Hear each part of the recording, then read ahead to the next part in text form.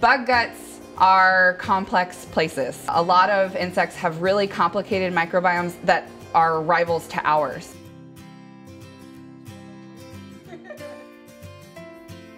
Some insects have interactions with microbes that are really important for agricultural and medical type problems. I think science is for everyone. It's not something that's reserved for really super genius people. It's not reserved for anyone. It's open. There are seats at the table and my door is open. I take as many students as I can because I think that opportunity is so important.